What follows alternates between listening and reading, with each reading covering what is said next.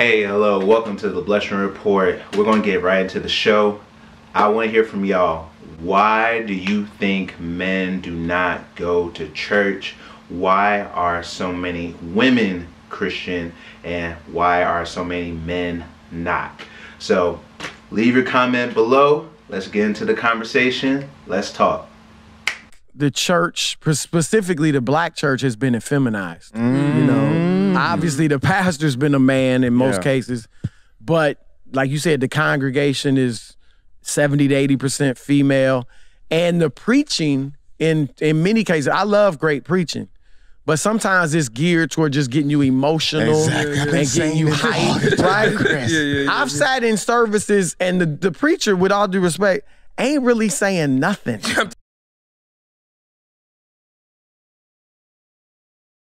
Hello, welcome to the Blessing Report. Winston Mayo, the regular Christian guy. In this video, we are sponsored by E525 Apparel. So that's Ephesians 525 Apparel. So make sure that you um, go support them, um, check them out, and also make sure that you support Faith in Humanity with their mustard seed necklaces.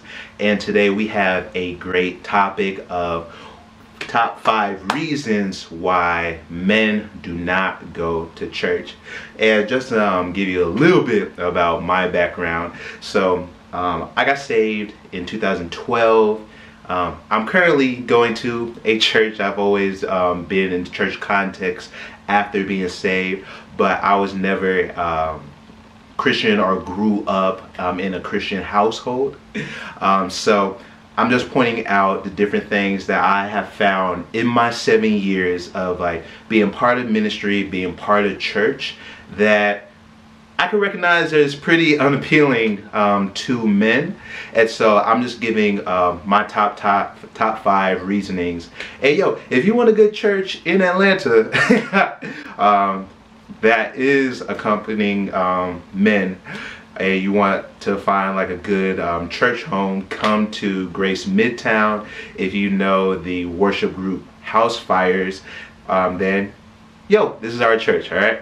Um, but here are my top five reasons men do not go to church. And this is just like my experience and things I don't like myself, all right? So, number one, the church panders to women. And it even panders especially to single women. So if we are looking at um, just like church models um, you will see that the church is primarily female making up 80 to 90 percent of the congregation and the 10 to 20 percent being um, men and economically, it's a pretty smart decision um, with the context um, being women account for 85% of all purchasing decisions, accounting for $7 trillion in annual spending. And I think around 60% of the world's wealth. And you're like, hey, why does that matter?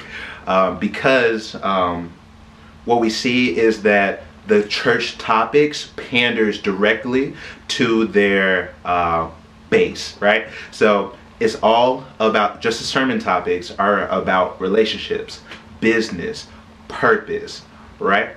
And if we're just talking about um, learning styles of men and women, we're just talking about generalizations here. Men um, lean towards topics of like math and sciences, analytical uh, minds, while women excel in like history and literature and more of the right brain creative mind. So if I am going into a church setting where, again, there is more of the storytelling, more of the tangents, the more of the emotional draws, sensationalism, and sensualism versus being grounded in scripture, that's a big turn off to men because that's not stuff that we like, right? And I think it was Christian Smith who said that what we're seeing nowadays in the American church is the rise of what he calls moralistic therapeutic deism. How to make people moral. You know, I look like this perfect golden child, but I was so dead. A place to go to feel better about themselves. I'm asking you to feel good about who you are.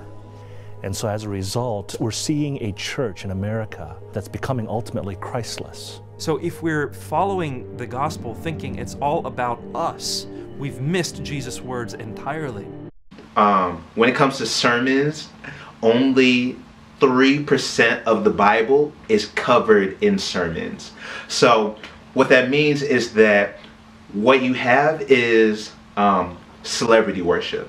You have the same material that is being preached in daytime television that you can hear from Steve Harvey, Oprah, the Sister Circle, um, The View being preached in a pulpit with a sprinkle of Jesus thrown in there. So if sermons are only covering about 3% of the Bible and they are going on these wild tangents, a lot of men are like, yo, I'm wasting my time. I've felt that um, a lot. Uh, but I feel like if you're within the church context in the body of Christ, you'll see that um, when I go to a church, I'm like, man, I could just stayed at home and read my Bible.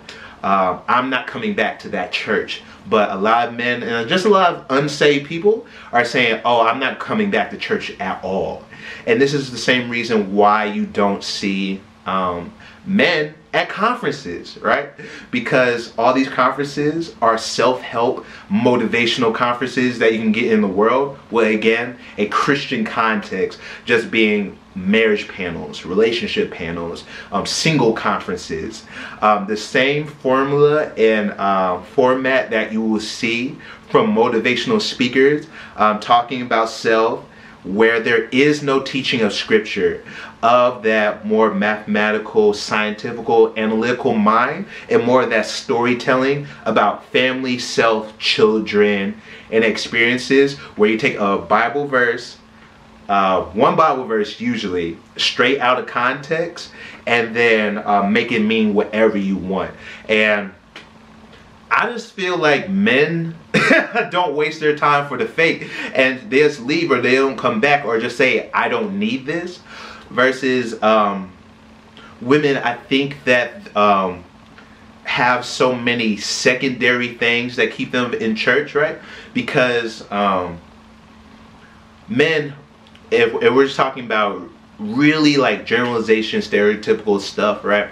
Um, like like sports action movies, um, business, money, um, and all that things, right?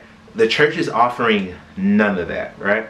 But when it comes to women, if like again, Jesus being the primary thing, secondary things that the church is offering is like, hey, if you're not talking about Jesus, you are talking about some type of relationship.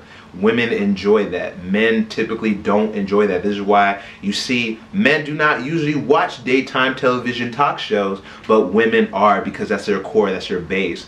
And so you see this also within the church setting. Or um, if you go to church, your friends are there. But if I'm in the world, my worldly friends aren't going to church because they don't need it. And so you see like this double-minded lukewarmness where you can go to the club, go to lounges, go be sinful, but also go to church. So my world context is both outside in the world, but also within the church. And then um, we have relationships talking. You get to dress nice, right? Um, if I'm a man and I like video games, I like chilling, I don't want to wake up early. There is nothing that the church is offering in the secondary premise like violence, sports, um, competition that I'm finding in the church context. So again, um, this is why men often thinks that church is pretty disingenuous because it seems fake because there's so many cues within the church, right? The musicians know when to play to orchestrate um, it to get louder. The preacher knows when to rev up the people and the um, the quotes and the um, sermons is the same as if you're like rapping or, or whatever. And so people know when to shout, sing, fall out, run around. But um, nobody is calling that out as disingenuous or fake. And I think it's just stuff that we live with. But if I'm not a Christian and I do not have a church background, I don't think that anyone should have to put up with the nonsense that we have just became accustomed to. And again, um, just like my story, my testimony, I got saved at 19. no church background, no Christian context. So when you enter this, when like legitimately you're reading the Bible and the only context you have is the Holy Spirit teaching you things, and then you're entering church culture. I don't think a lot of people have a problem with Jesus or have a problem with Christ. I think people have a problem with church culture, which is not Jesus culture, it's not biblical, right? And so I don't think the theatrics or sensationalism is a problem, but I think it's a problem when you don't have the primary. and then he said, Now sacrifice. God put us in position to make sacrifices, and we are rewarded. Our sacrifices are rewarded with abundance, with blessings and abundance. And he goes into, uh, I don't like, I didn't like giving, I didn't like giving, but I was compelled to give. Then he tells a story about a time where he was a preacher, and then there was the church, and the church's budget was it, it, it was in a five figure deficit. And he said, I had the money. I didn't have it for that, but I had the money. And immediately something told me, you got to fill that deficit for that budget. And I said to myself, well, I don't want to. But then, and he said this, and this is what he said. He said, and the thing is, when the spirit talk to you and tell you yeah, I heard that to make sacrifices, yeah. you got to do it fast before you talk yourself out of it. Yeah. yeah. Oh, he ran. Yeah. I say, huh? So you mean to tell me if I am compelled to do something that I tell myself later with my rational thinking mind I can't afford to do, I shouldn't listen to my rational thinking mind. I should just go ahead and dive in, face forward in the face first in the frozen lake. Yeah. So then he says, I want 20 people right now to stand up and give a thousand dollars. 20 people. Let me see. Who do I have? First he Who? said something about 10,000. Yeah, he said that his deficit was 10,000. Yeah, yeah. He said what he gave was 10,000. Yeah, yeah, He said, but here, you guys can do better than yeah, that. Uh, now we want everybody to But even before he said that, it were people walking up to the stage like strippers, like they walk up,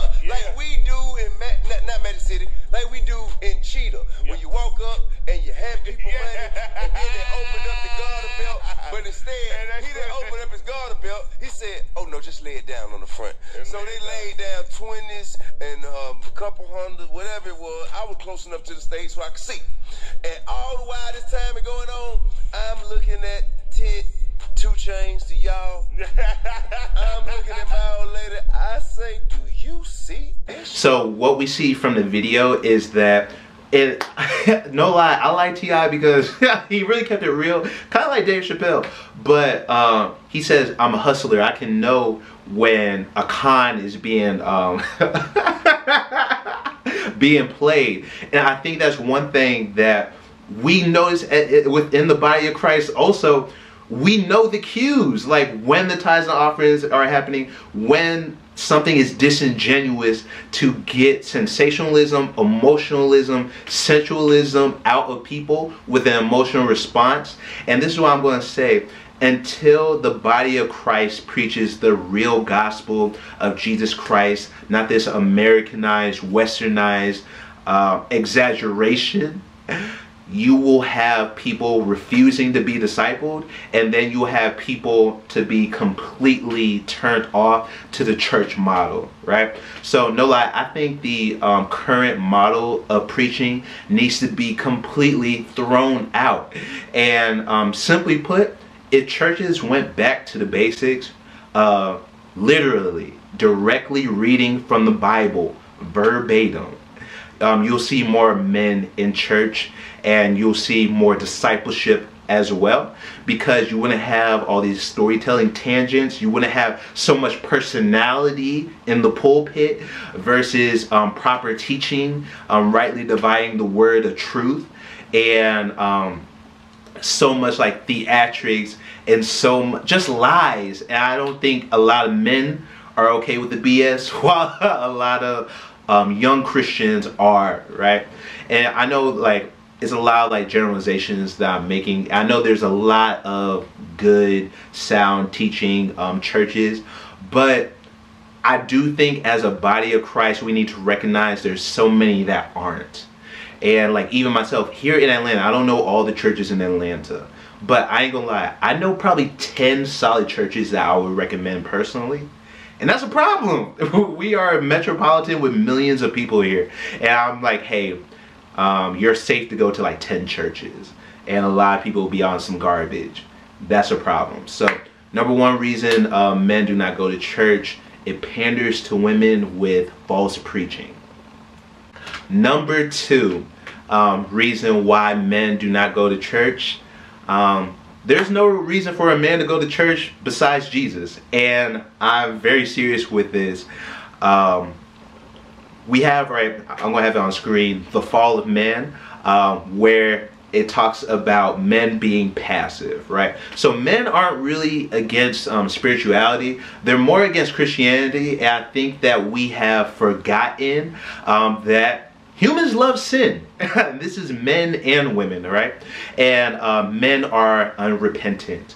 And part of the gospel of Jesus Christ is that it is um, offensive and it is considered foolishness to those who are parroting, uh, perishing. Sorry, um, but I think we have forgotten that people are supposed to be repulsed by the gospel, and I think we have forgotten how supernatural Christ is and his um, salvation is, right? So this comes from John 10 and also John 14. John 14, 6, Jesus says, I am the way, the truth, and the life. There uh, is no way to the Father except through the Son, right?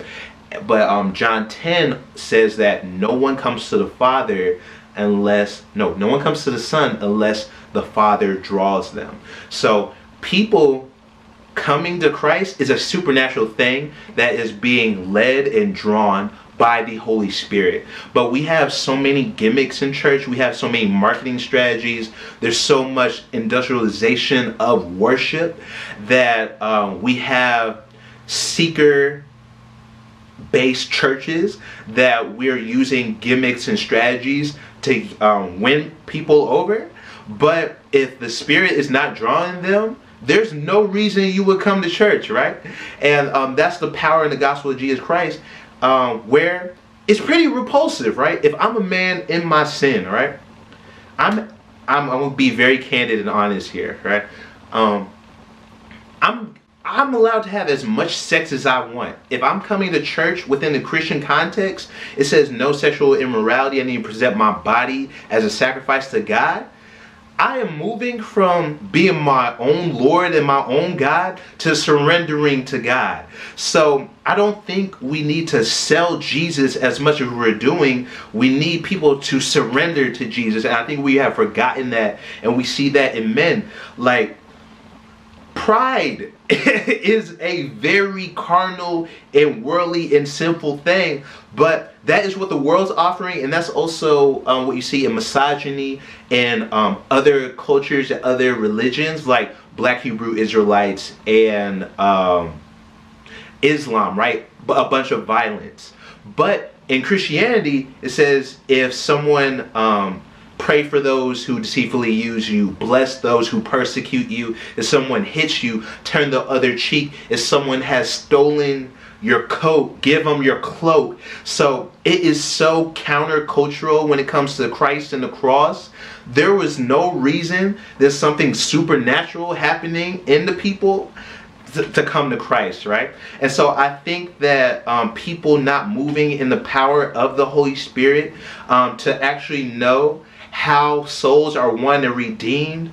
Um, and we're just calling people without like praying on it like we need to know how the spirit draws how seeds are sowing uh, and how to like have sound doctrine and sound preaching. Because i know preaching is pretty soft right now. And me as a man um, just like the way i was set up i was very prideful right?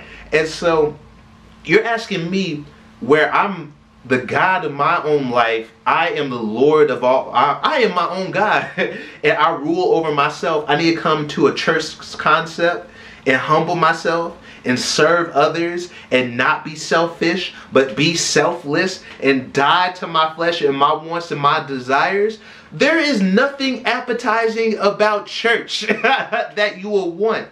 Like, I have to yield to like a like again i'm being my own god. I have to yield to another man in headship in authority within the fivefold ministry and church context. I'm not doing that. And so i think that it's a very naive of us to think that if we just have this celebrity model um worship evangelism versus real life evangelism and discipleship that we can make Christianity um, that is offensive to be something appetizing to those who are perishing.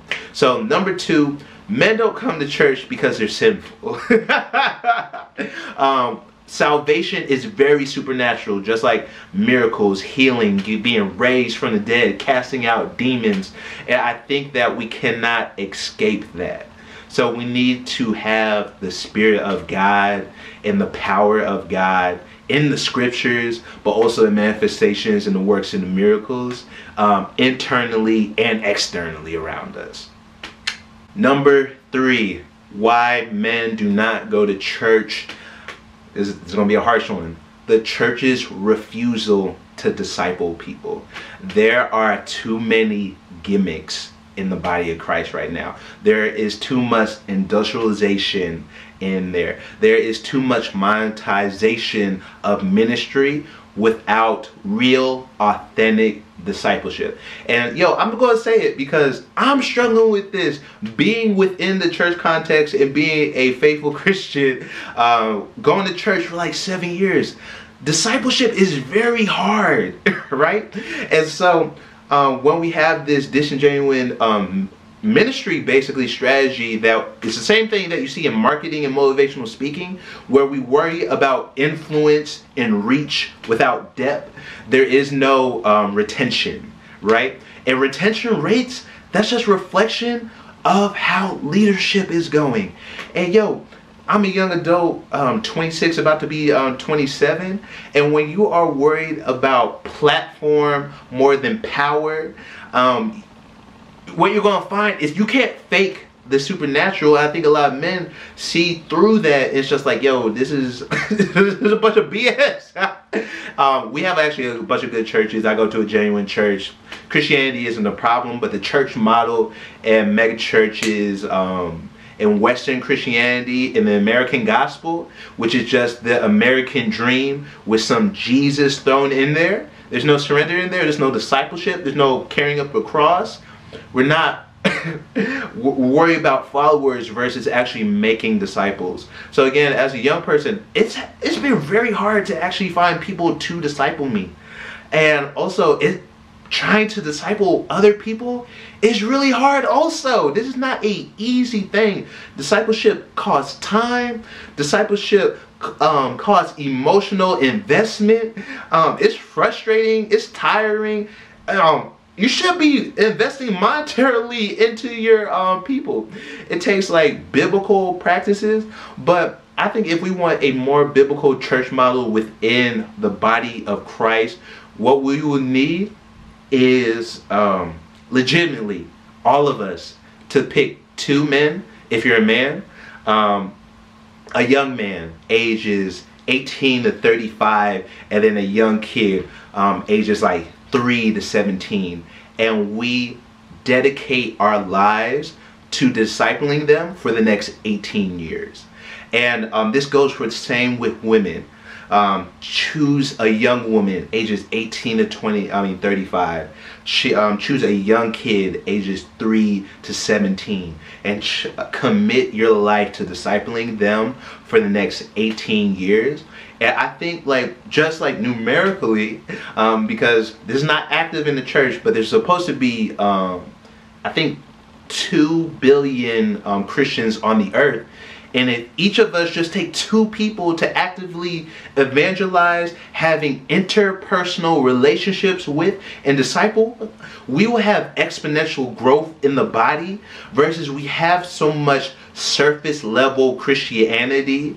Um, that we do not have good doctrine and we can actually have good doctrine. We can have bible literacy biblical literacy um, if we could just properly disciple invest in people. Because what we're seeing right now currently we are seeing church liberalism. We're seeing uh, american christianity. We're seeing western church culture we are seeing industrialized faith and we are seeing the mega church model fail and fall in front of our eyes right and it's actually a pretty good thing that is happening because um, if we see uh, all this is making for real is false converts. And um, again, I want to go back to like science and even like business. If something is not working, you don't try harder for longer. You try something else. You you try a new formula. You try a new, a new chemical balance, right? You try. You have a thesis you change the variables to see um, the outcome. And what we're seeing with Western American Christianity, a lot of people are leaving the faith. A lot of people aren't leaving the faith. We're leaving false idolatry and created gods of ourselves. And we're calling it Jesus, right? And so I think this is actually helping us disciple properly because um, we can actually see um, the flaws um, in the model, right? So I'm actually, I want to put another video about Paul Washer talking about um, discipleship that we're going to put on the screen and y'all should check out because he's talking that fire. He's talking spicy.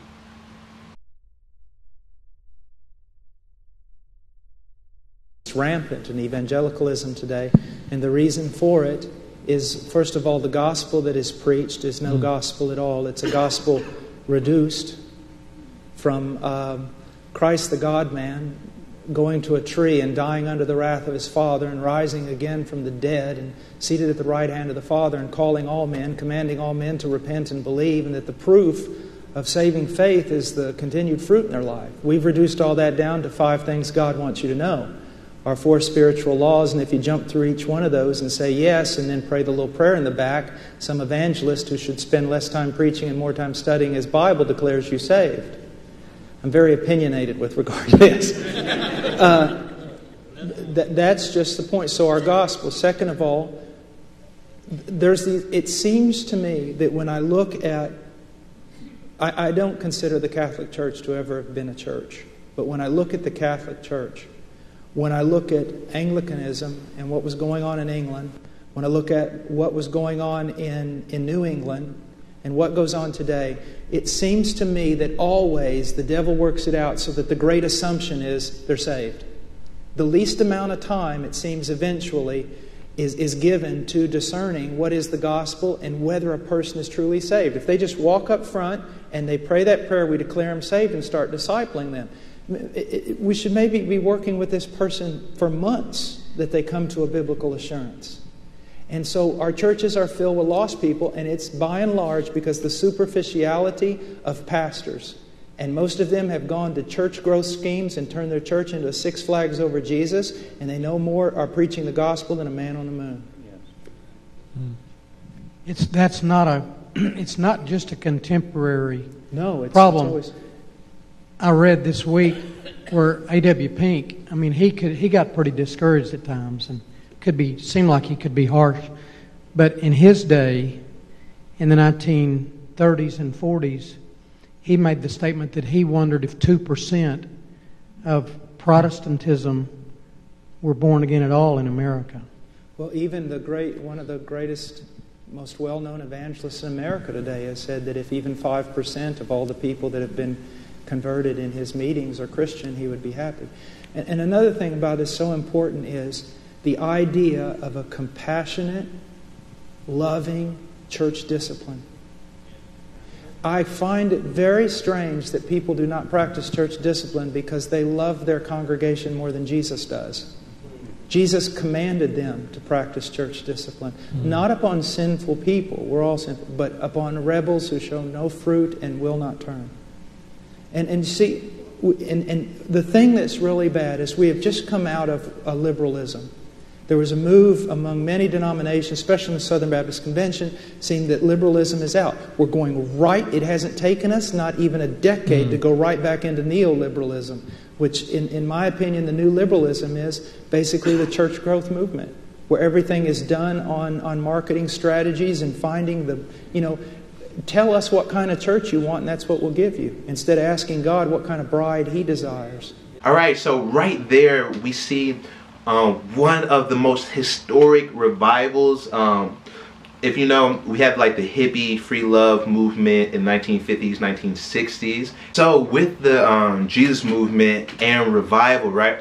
Um, he said came liberalism. So we had a really good like supernatural sound teaching, and then we went back to um, I guess like postmodernism, where Christians like men, like humans, are God, and um, Jesus is just self-service to whoever we want in our desires. So this is the um, preaching model that we see right now. So we just need to get back to biblical discipleship, um, where it's sound doctrine mixed with proper living um, in the fivefold ministry and moving in the power of works and just the fruits of the spirits versus um, this dichotomy, which is really hypocrisy of um, us preaching and living one way, but the Bible teaching a whole nother subset.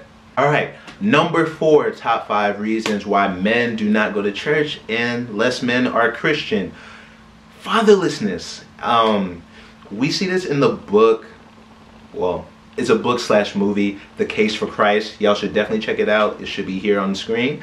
But also in the book, Fathered by God, Learning What Your Dad Could Never Teach You. Um, a book by John Eldredge, right? And in the book, and both of the movie, it says that we can misinterpret God by our interactions with our fathers, right? And so when we interpret God by people, we misinterpret Him. So uh, again, I'm going to put a statistic on the screen. We see that when the father is saved first in the nuclear family, 93% of the family follows suit. So that's like um, mother, children are also Christian. But when the mom is Christian, only 17% of the nuclear family comes to Christ, right? And then um, we have just seen like a stable decline in the nuclear family, right? Um, with um, just absentee fathers, but also um, absences and fathers actually in the home, right?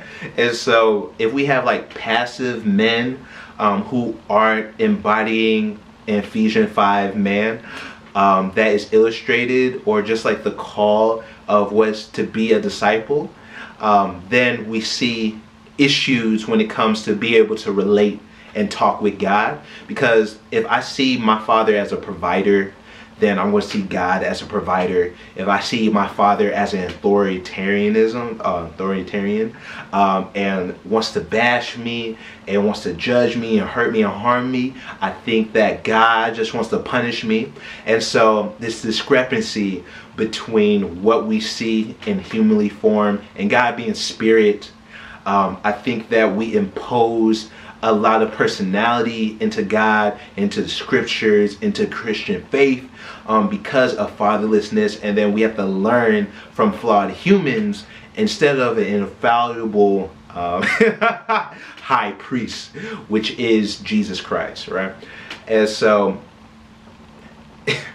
um, that book, um, back on um, Fathered by God by John Eldredge, but also the movie and the book, The Case for Christ, really illustrates how we can like reconcile ourselves back to God through Jesus Christ being powered by the Holy Spirit.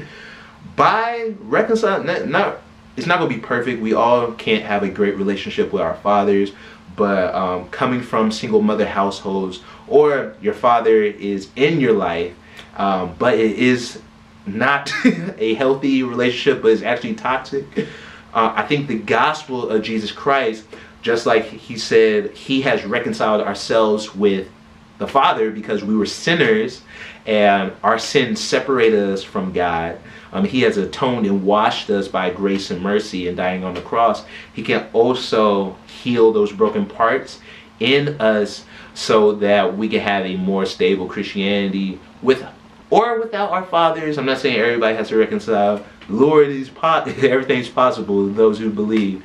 But um, I do think we see this in women also with the issue of fatherlessness. But I think it's especially prevalent, prevalent um, with men um, refusing to come to Christ because if I again, if I'm my own God, my pride to be strong and not surrender, um, then it's going to be really hard for me to have like a father figure in church. I'm not saying everybody in church is a father figure, but there's a lot of males in those roles.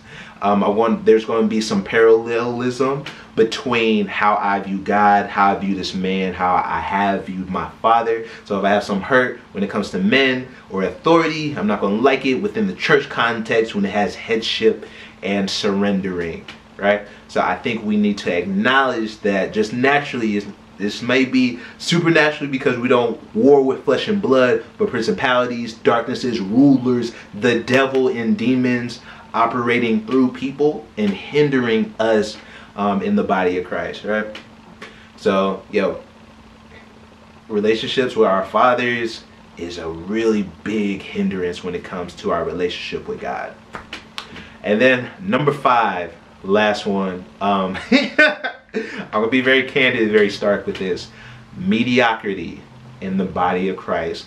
Um, I'm really just gonna say, I think there's a lot of crap in the body of Christ, and um, not everything. I think we have made great strides when it comes to Christian music, um, including Christian rap. But we have to admit that a lot of stuff has been bad.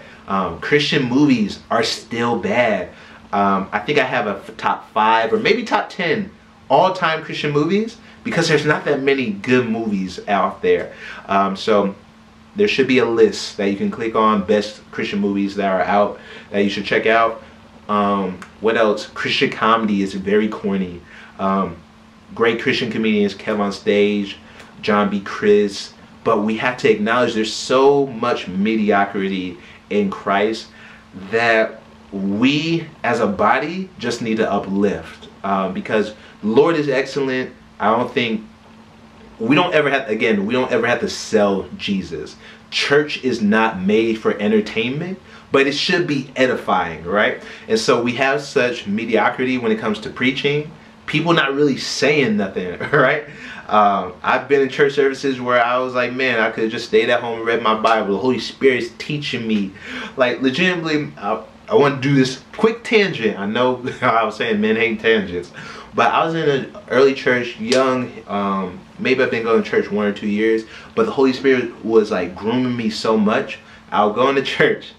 This dude would be preaching, he was a pastor, pick one um, verse and then go on a crazy tangent. But I'll go to that verse. I would read the accompanying scripture in context at the beginning of the verse, all the ones that came before, all the verses that came below, and then I'll be learning a whole bunch. I was learning more in the scriptures versus a sermon that's being spoken to me because the mediocrity in preaching.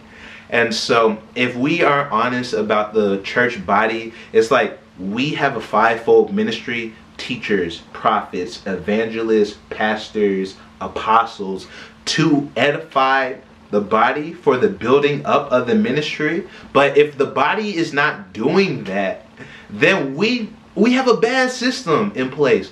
And so if I'm only putting up with it because I'm Christian and I'm in the church context, like the Christian context, I'm not going to tell people who aren't saved to be like, hey, come into this context and it's whack. um, bad music, cliche preaching, terrible celebrity worship and idolatry. I'm not going to tell you all this mediocrity and be like, no, no, no, no. Jesus is Jesus is good when the Jesus that we are presenting is not the Jesus that's being offered in the scriptures, right? So I think it's just like, yo, can we as a body get well? Right? Can we move in the supernatural? It's really like no lie, it's real hypocrisy. it's a lot of hypocrisy in being like, hey, your body is a temple when the pastor who is preaching is fat. Like there's a bunch of stuff in the body of Christ where it's greedy, it's hypocritical, it's judgmental. It's like, hey, can we get ourselves together where there isn't mediocrity in Christ and we're moving in excellence and we're actually the best at what we're doing and we're better than what the world has to offer? Because if I'm choosing, I don't know, they, they call it, uh, what is it, a Holy Ghost party over the club than the lounge, I don't want to get there and wish I would stayed at home and played video games or binge watch something, right?